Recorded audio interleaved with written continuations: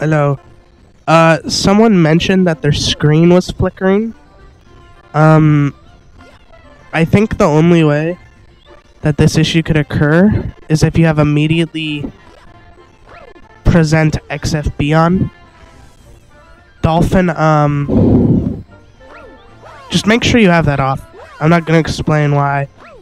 Well, basically, all that's happening is Dolphin is Dolphin has to emulate when to show pictures onto the screen, and the game has functions to determine when to show something on screen. However, Dolphin can turn off the emulation for when to show those pictures on screen.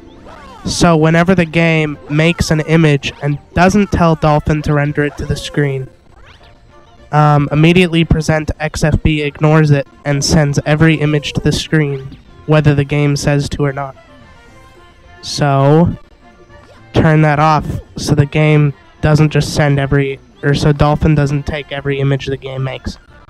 The multiplayer mod requires that you turn off images being automatically sent to the screen, you know what I mean?